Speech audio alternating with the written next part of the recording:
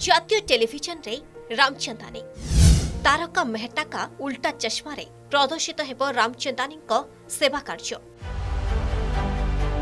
Sony ସବ୍ ଟିଭିରେ ପ୍ରସାରିତ ଲୋକପ୍ରିୟ ଶୋ ତାରକା ମେହଟାକା ଉଲ୍ଟା ଚଷମାରେ ପ୍ରଦର୍ଶିତ ହେବ ଡକ୍ଟର ଶଙ୍କର ରାମଚନ୍ଦାନୀଙ୍କ ସେବା କାର୍ଯ୍ୟ ଶୋରେ ତାଙ୍କ ଭଲ କାର୍ଯ୍ୟ ବାର୍ତ୍ତା ଦେବା ପାଇଁ optimistic entertainment India private limited ନିଷ୍ପତ୍ତି ହୋଇଛି ଏହି ଶୋର ସୁଟିଂ ଖୁବ୍ ଶୀଘ୍ର ଆରମ୍ଭ ହେବ ସବୁଥିରୁ ଇମ୍ପୋର୍ଟାଣ୍ଟ ହେଉଛି ଯେ ଏ, ଲୋକଙ୍କ ସେବା ଲୋକଙ୍କ ସେବା ପାଇଁ ଏ, ଯାହା କରିବା କଥା ଲୋକ ଯେ ଚିକିତ୍ସକ ହିସାବରେ ମୁଁ ରୋଗୀଙ୍କ ଏ, ଅସୁବିଧା ନି- ନିଜେ ଅଙ୍ଗେ ନିଭେଇଛି ତେଣୁ ତାଙ୍କର ଅସୁବିଧା ଏବଂ ତାଙ୍କର ଯେଉଁ ଦୁଃଖକୁ ବୁଝି ତାଙ୍କର ଦୁଃଖକୁ କେମିତି ଲାଘବ କରାଯିବ ତାଙ୍କର ସମସ୍ୟାକୁ ସମାଧାନ କରାଯିବ ଏବଂ ରୋଗୀକୁ କିପରି ଭାବରେ ଭଲ ଭାବରେ ଟ୍ରିଟମେଣ୍ଟ ଦିଆଯିବ ସେଇଟା ହିଁ ମୋର ପ୍ରାଥମିକତା ଏବଂ ତାକୁ ହିଁ ମୁଁ ଗୁରୁତ୍ୱ ଦେଇଥାଏ।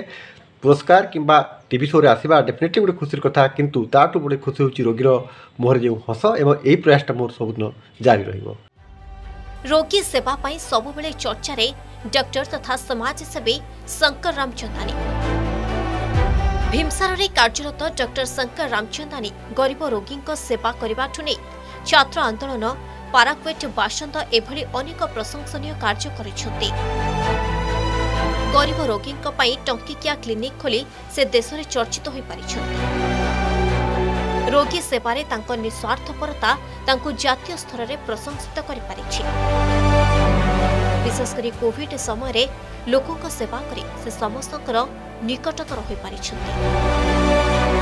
ସମ୍ବଲପୁର ମଳଭୂଇଙ୍କ ରିପୋର୍ଟ ଅର୍ଗସ୍ ନ୍ୟୁଜ୍।